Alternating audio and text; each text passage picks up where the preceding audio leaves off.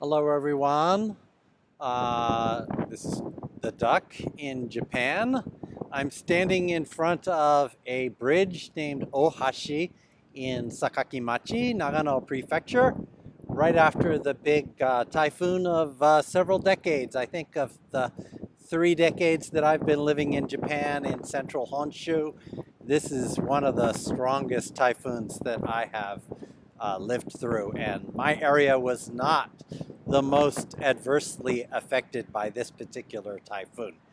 Uh, but as you can see in the background, uh, our river went right up to its banks, right up to the, the dike that I'm standing on.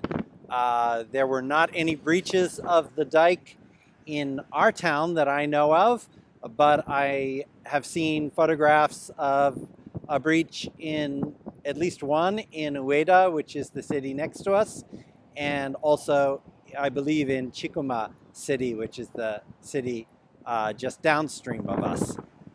So this was a pretty horrible event, and I'm sure there are a lot of people that have been very adversely affected by this in the areas where the typhoon made landfall in Izu Peninsula south of us and also up along Honshu. So we're just waiting to see what the damage reports are.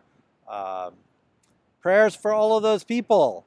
And thank you for watching. Thank you for your good thoughts and uh, for your prayers for us.